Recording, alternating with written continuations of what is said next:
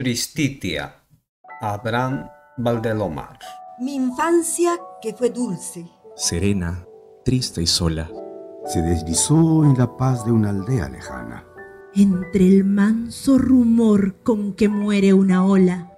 Y el tañer doloroso de una vieja campana.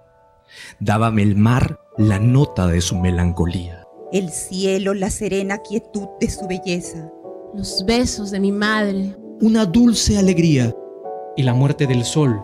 Una vaga tristeza.